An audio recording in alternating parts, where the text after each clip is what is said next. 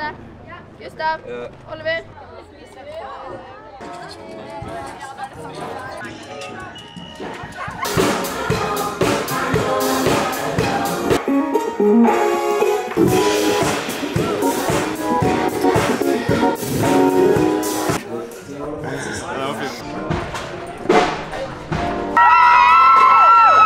Yo, nå er vi her, og det blir så fett. Jeg skal lydsjekk. Make it. Let's make it happen. Det blir dritbra. I kveld så blir det masse folk her. da.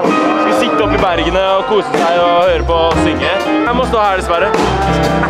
Jeg må synge. Jeg kan jo se gleden i andre som kan sitte her og høre på oss. Det kan jeg. Absolutt.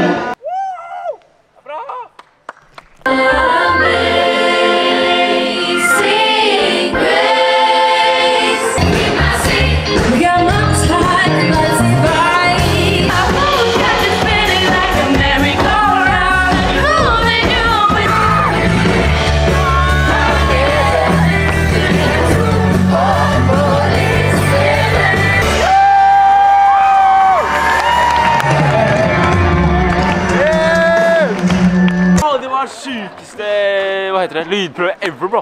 Det var stemning, det var dansere, det var ingen folk som så på. Men det går helt fint. Fordi det kommer masse folk etterpå. Det blir dødsfett.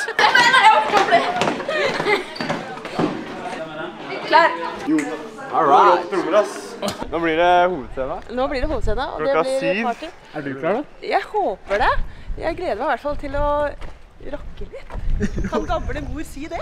Hæ? Er det mulig? Skal mamma rocke litt, Jonathan? Må rocke litt. Det er bra. Har du med deg koffert? Ja, tilfelle det er noen som trenger litt mer stæsj. Da har vi alltid litt stæsj på lur.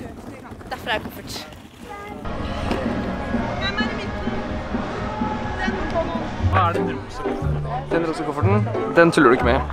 Vi har fått beskjed om at man har på seg forskjellige fargekoder. Hvis vi ikke har på oss de forskjellige fargekodene, så kommer den rosa kofferten fram. Da er det å være på med en gang. Og så ta på seg det du får beskjed om fra den rosa kofferten. Da blir det strengt. Den buksa her, den er kjempefin. Jeg husker Ragnhild hadde lyst til at jeg skal få den på meg, men nei. Nå tar vi og bytter helt.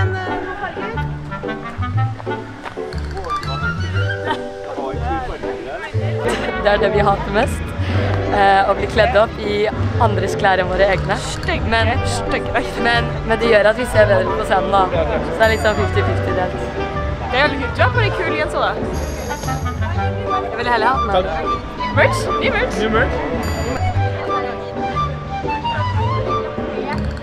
Han har fått en caps som jeg misliker ganske mye.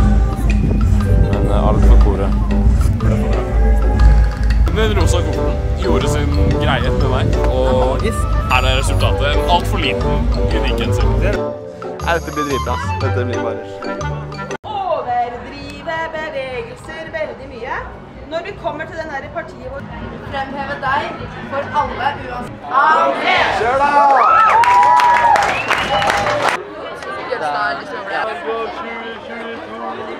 Men jeg har